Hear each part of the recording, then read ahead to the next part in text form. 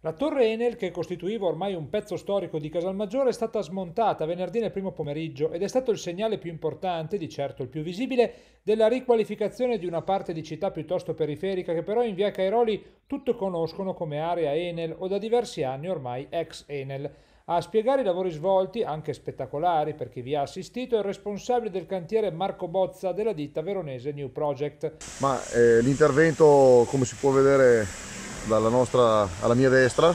L'intervento riguarda la demolizione di un traliccio ex Enel e l'abbiamo smantellato ieri con l'aiuto anche della ditta Vernazza che ci ha supportato con le gru in quanto l'altezza era comunque notevole, era quasi 60 metri.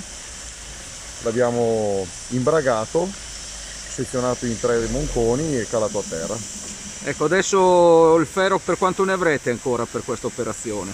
Ma un altro paio d'ore e poi abbiamo finito insomma. È così partito ufficialmente il piano insediativo approvato dal Consiglio Comunale di Casalmaggiore il 31 gennaio 2019 con l'adozione di questo piano di lottizzazione nell'area abbandonata ormai da tre decenni e oggi di proprietà della ditta Orion SRL, invariante al piano di governo del territorio che comunque già prevedeva una destinazione residenziale per quell'area, è stato possibile formulare, ormai nel 2018, una proposta concreta da parte dei privati proprietari dell'area per un rilancio edilizio della zona di 7.630 metri quadrati. Qui sorgeranno, da planimetria proposta, tre ville singole, tre bifamiliari, due villette quadrifoglie e un condominio. Per cominciare, la rimozione della torre Enel ha dato un significativo e tangibile segnale che qualcosa si è mosso e che l'orizzonte di Casalmaggiore, come già accaduto nel dicembre 2015 con le storiche palazzine dell'ex zuccherificio, sta cambiando.